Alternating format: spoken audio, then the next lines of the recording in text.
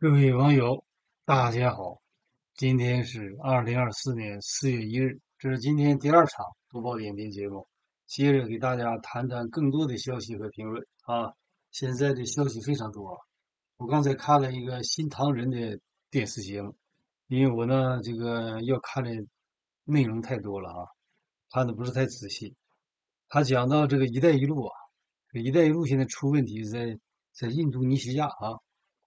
说是中国这个搞建设，到这个一些国家去搞这个“一带一路”啊，其中就是给人家贷款嘛，贷款，然后人家要买他的产品，而且人还要给工程项目给他，然后呢还要允许他把中国的劳务带到那个地方去去干活，当然也包括聘用当地的一些啊这个老百姓劳工，干的时候就按照国内那个办法。往往是不顾及人权啊，这个国内往往我是印象很深刻，动不动大干，就是加班加点啊，你不加班不行啊，快下班老板说今天都别回去了，大干要抢活，尤其是服装产业啊，在那个年代叫三三来一补啊，来料加工是吧？呃，要赶这个船这一船的衣服。比如说都是 Polo 对吧？加工完、加工完了以后，你必须按时给人送走，连夜工人都干一夜，啊，东北讲叫干一宿，你不干不行，不干工作就没。你要在美国、加拿大就不行了啊！我估计他把这套东西就是，呃，这个榨气压榨这个工人的血汗，有办法带到非洲去了，是吧？或者带到其他一些，呃，一带一路沿线的国家。今天正好是印尼总统来了，是吧？这很有意思。刚才我就想到这个问题，等一会儿我再看看这个电视节目。他讲是当地的工人好像因为欠薪闹事甚至把中国大使馆占领了哈。我看这个可能夸张了一点，但是他有个镜头就是大使馆门前挂的就是那标语，抗议标语，甚至讨薪的时候人家也有办法直接持枪讨薪，是吧？等等。这这非常有意思啊！这说明什么呢？就中共把这套东西啊，就带到了沿“一带一路”沿线国家去了，啊，就是完全照搬中国国内这套东西，这挺吓人的啊！呃，肯定会激化就矛盾的。那么这次印尼总统来，这和这个事是不是一种巧合，还是碰到一起，还真是这个原因来的？咱不知道，因为中共官媒每天都是虚假宣传，你知道他到底是怎么回事是吧？讲不清楚啊。等一会儿我再看看这个事儿，先是未定，呃，肯定是这个出事儿了啊，也就是“一带一路”肯定出了很多问题啊，只不过人们知道的消息是甚少啊。这是一条消息。那么今天我看到了这个看中国网站今天有一条消息，这个消息应该是比较可信的。为什么？因为这个人现在在美国，在美国被判刑。由于在自由世界，自然而然有些背景情况就披露出来了啊。他讲到江泽民的恩公。就有恩于江泽民，江泽民爬上来就帮助他，就李先念的李先念家族啊，呃，两位前女婿被判重刑，哎，这个时候可真是一件大事儿啊！一些就是过去没有看到的消息啊，因为他现在在既然来来到这里了，肯定有些记者就可以有内线儿，就能采访的好的新闻。要在国内，往往报纸料都一半真一半假呀，讲不清楚到底他们要做做搞什么名堂啊。他这里讲是原国家主席李先念的老婆的侄女婿，北京天上人间夜总会老板，就是秦辉这个人。啊，亿万富豪，在纽约东区联邦法院前几天都大家都知道被判刑，指控他是政治捐献、移民欺诈、伪造身份，好几个罪名啊，呃，多个罪名加加深，你就想想，结果呢，盛传他就是李先念的前女婿，啊，这个人啊。那么还有个女婿就是刘亚洲，判了无期了，这次他肯定出不来了。只要你出不来，在中国内，你这个真相永远就掩掩埋了。你比如说，如果习近平给他儿子提拔上来了，先是彭丽媛，然后怎么，这个他儿子，虽说他儿子是有的是媒体讲说，现在江苏省委宣传部个挺高的哈，有那么一个年轻人。你看二十大主席台上中间坐有个男的，小小伙子哈，挺年轻人，戴个口罩，我估计那就是。呃，很快就会出来了。因为你们若不相信，等着看嘛。我跟你讲，如果他真正如愿，就是他家族统治中国了，你刘亚洲，你觉得他死在监狱就没有希望啊。我要讲这个事儿，像秦桧这个，他算幸运跑出来了，他判刑了。不管怎么样，我看那个结结论还行，他留一条生路，就是说你美国给你赶出去了，呃，你到其他国家，你到其他澳大利亚也行，到加拿大你也能就是能活着，对不对？你回去倒霉了，回去他给你关起来，还有关键真相永远不披露。这不管怎么样，透露点真相。他讲到什么，就天上人间，这个我听说了啊。以前他是。就是这个黄赌毒的场所是二零一零年五月，就傅政华当时，呃，刚一上任才七十四天，因为傅政华据说是因为处理零计划这个事儿立功的啊。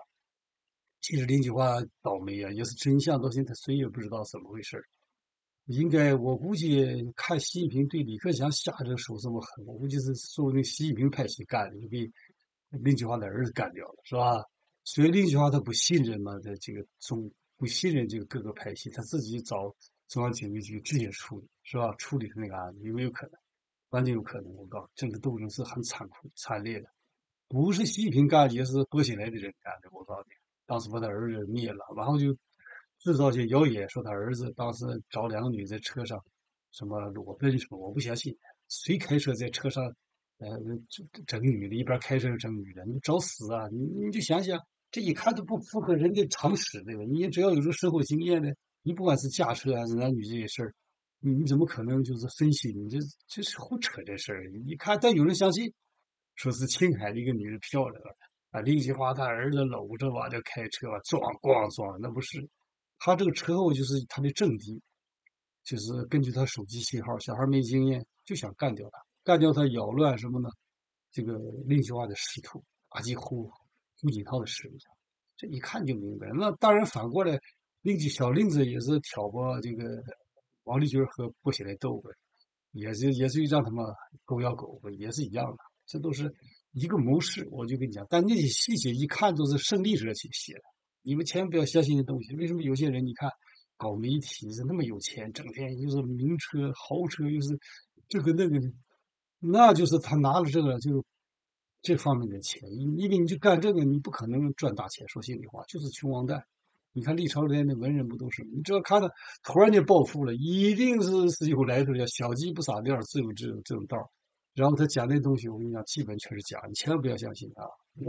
干这个是最容易赚钱的。我说心里话，稍微心动一下，你呃断了几两股的，马上就暴富了。我就跟你讲，你现在找我的很多，就删你删掉两个，删掉一个就一两千美金。就是你这不是写了现在我一万多个视频嘛？有骂的、难受的人，每个星期都有。我就跟你讲吧，email 都有的，什么都有。通过人找来你给那个删掉，删掉，最少给你两千，还可以再谈。你想多诱惑人？两千，你你忙活一个月就挣两千，但是你只要在这个问题上，你你守不住，完了我就跟你讲嘛，早晚得出事儿。这里也是有情报机构的，每天都盯着。美国也是，为什么有些人？六四除了在美国一直不给他身份，你不明白美国爱回别被吃干饭的。民主转型以后，你他们将整肃，肯定了。我告诉你，现在中美还没开战，等开战你看吧，会抓很多人。千万不要不要以为美国跟你客气，什么好像不管你，那他盯着你不到时候，到时候他拿出来以后你就很难逃了。我就跟你讲吧，哈，你看那个呃赵子阳基金会叫王志文军，这 家伙我就说了是吧？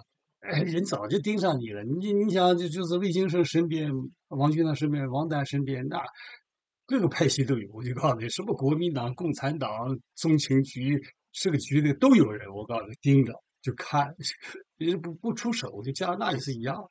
你看大瀑布那个赌场里，什么派系都有啊，是吧？国民党的、民进党的、共产党的、这个 民主党的、是保守党、自由哪个党没有烟和线？很复杂，我就跟你讲，你关键是 你你自己的的，你你看你选择什么路了？我讲这个意思啊。我们来看看秦桧这个案子，确实我跟你讲，这是很大的案子啊。因为他这个今天我看到这个这个报道里边有很多的细节是可信的。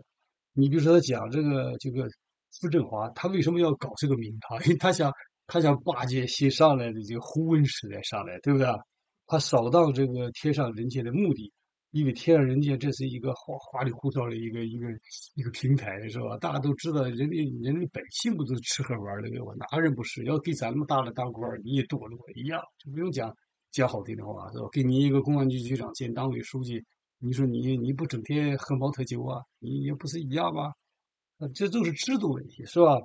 他就讲到那个夜总会，呃，出了事儿里边都干嘛呢？精英权贵在里消费呀，说，呃，给的小费都是那都成捆的扔小费呀，哈，一消费就几万，那几万都是少的呀。你看在深圳八十年末九年九十年代初，呃，我到我闯深圳的时候，经常去认识一些人，咱倒是就是只是听他们讲，吃饭回来人家那一餐。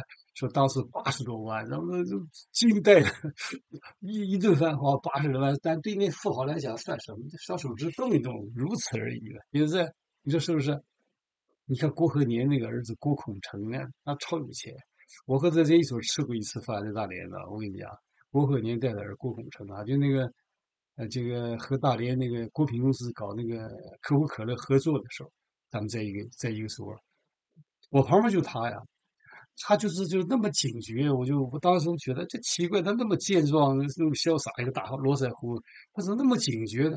啊，后来我就知道发生了，就是那绑架李嘉诚的儿子那事啊。他看我身体，我那时候挺健壮啊，年轻，呃，这个这个东北人，他害怕，你那人不再了解，突然这么一个穷记者，记者在香港不算什么，是吧？在大陆就了不得了，因为那国品公司那老板和我关系好啊，是吧？还邀请我。上那个桌和他坐一起，那郭鹤年的老老人家特别好，那个人和他儿子不一样，他儿子呢还是有等级观念哈，那种，呃，这个，呃，还是不如他爸爸老，这个老上场游的厉害啊，也确实不简单。那些亿万富豪厉害啊，侯云东我和他也也结过一次，但是不是一起吃饭啊，这说心里话是近距离。那些这些大富豪都不是一般，但他们后代都不行。后代远远不如我们想象啊！今天今天我跟你们扯，你像他这个就什么是讲什么讲了半天，他为什么敢就是搞这么大的动作？原来这个傅政华为了霸气这个胡温呐，然后就讲到秦桧这个人后台讲了半天是李先念的家族了。我说他怎么生意做的这么大？你看习近平逗李克强，从一开始就让这王小红到河南，王小红到河南去搞什么？不是一样吗？也是搞这夜总会，他是要掏李克强的老老巢地沟子，他俩斗。九远年代就开始了啊！我跟你们讲，一点都没错。你看这篇文章非常好，他就讲当时这个里边的夜总会里边陪侍女坐台费就是五千，五千都少了。你你大连那些不很多吗？这都是那些当官什么的，当时有钱那人那个年代啊那些事儿。说是零五年《天上人间》的头牌花魁叫梁海玲，就是那个就陪侍女当中的，就是最漂亮的吧，是吧？这种。呃，风情万种这种人，说他手下，呃，千万财产那不算多，还有上亿的都有，对不对？那那不算什么。那改革开放年代，你到东莞，你再去看看吧。你说那社会，哎呦我天，我太奢华了哈！这篇文章讲说，一九九六年三月两会期间，说北京，呃，西公安局西城分局两个副局长来到天上人间消费哈，结果期间和天上人间的保安大打出手。其中一个副局长打电话，呃，调来了特警两个分队，把天上人间围个围个水泄不通。就秦桧一个电话，救兵立刻赶到。特警分队一见秦的救兵，乖乖交接。说原来秦这么厉害，什么什么原因？他就是秦找到了林佳美，就李先念他老婆。那可不是？李先老婆小手指动一动，江泽民吓得是吧？呃，说林佳美随后打电话给了江江泽民，江泽民叫尤锡贵去救救驾，那可不是。在在中共国，就你有了权就是爷爷，什么法律人？你我这看到这种事在东北多着呢。你看那个岳奇峰在在这个黑龙江当书记的时候，他那个儿子做到什么程度？在嫩江那个地方，农业银行哗哗往里就是贷款给他送钱，送钱他就玩儿就玩海买的那个那个干那些项目。其实都不能讲，我就跟你讲嘛，这共产党这个制度就是这样哈。你爹要是省委书记，你在那个省就是爷爷，你就随便胡说。你爸是是是大连市市市委书记是吧？你像郭呱呱为什么当年牛是吧？他爹是厉害了。你看他现在谁打理他？是不是？啊，哎，此一时彼一时也呀！我就跟你讲，你有权你整别人，你没权有可能别人整你。整你那天你可怜兮兮的，你你怀怀念过去那个年代，那个年代不可能再回来了。我跟你讲，就习近平政权做到今天和美国这难免叫一战啊。这一战，我跟你讲，共党就完蛋了啊！你们再看到的时候是一个一个像中华民国那个时期的时候，我告诉你啊，你这一天基本已经透亮了。你不要以为我在这忽悠你们啊！我这研究政治研究了多少年，你们有几个是有我这个经历？我讲不是吹牛皮，我为什么能看透这个事儿？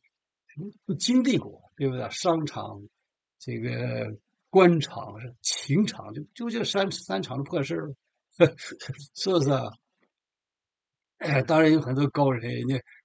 不不敢出来讲，不愿意出来讲的，咱们不怕得罪人。我要告诉你，就这这篇文章挺有意思，讲的内幕还是可信的啊。他讲的秦桧，他的是叫林佳梅是姑姑，他姑姑你就想想是根据他老婆林林林林清的林静的这个称呼称呼叫的啊。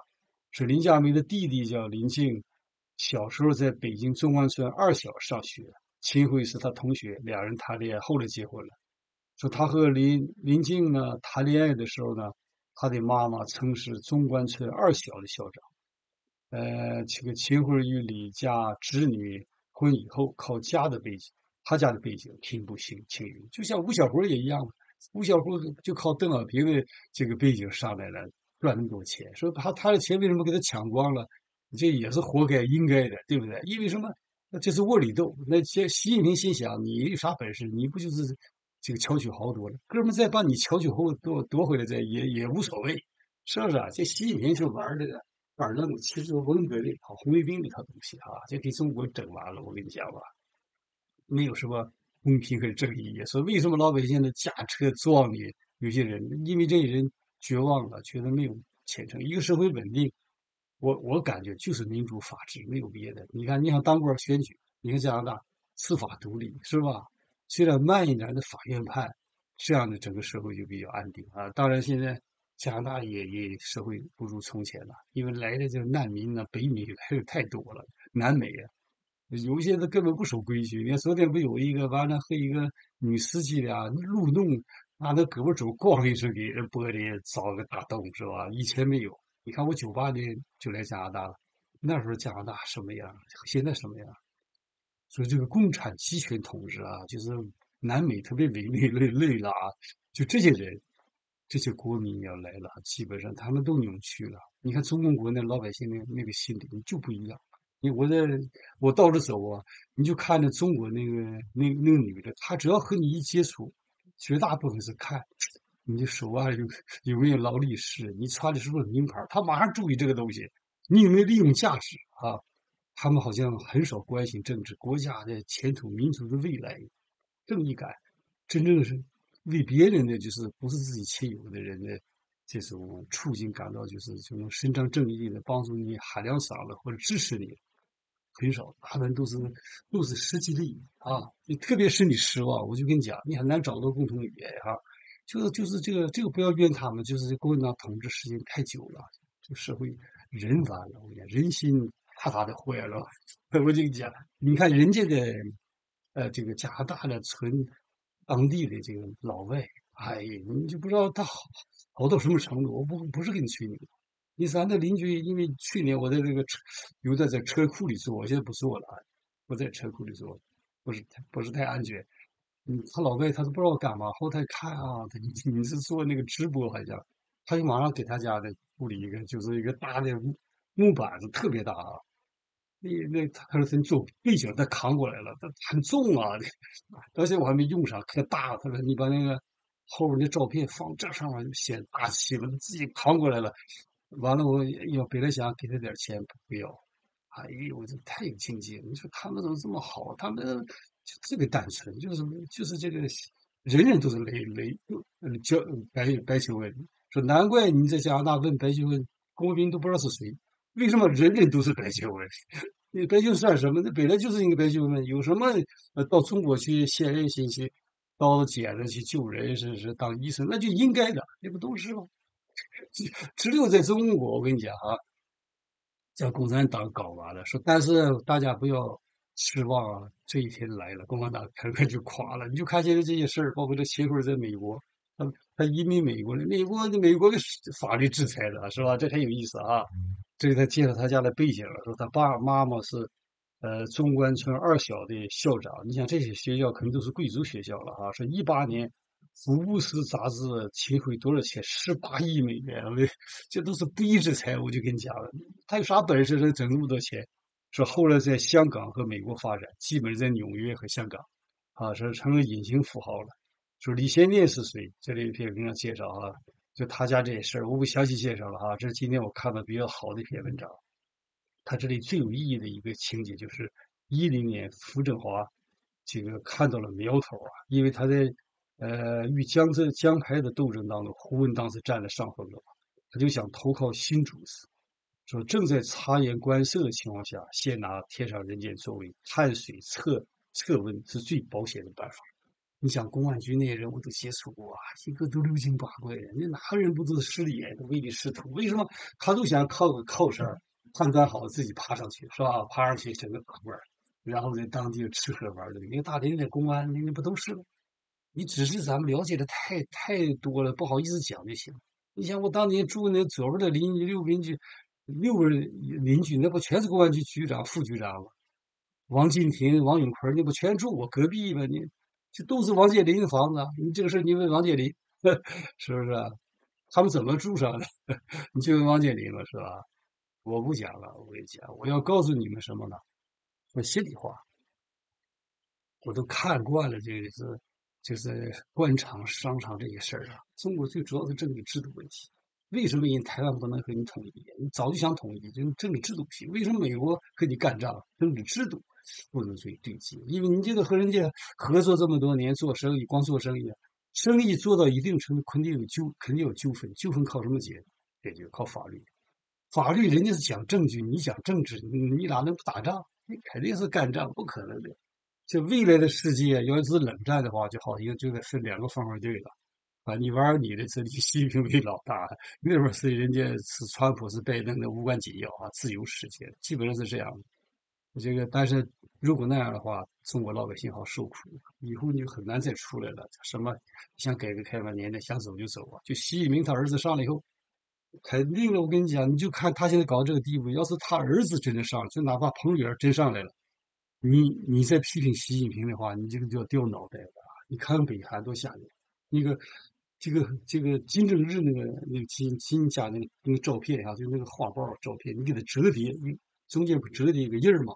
这这判刑的，你这美国那个人不就是吗？就按你那整到监狱的时候，最后放了死死掉，对吧？卡特去去去给人磕头，这个放，你就想这是什么制度？你不吓死人吗？你想想，那为什么这么多的中国老百姓要走线呢？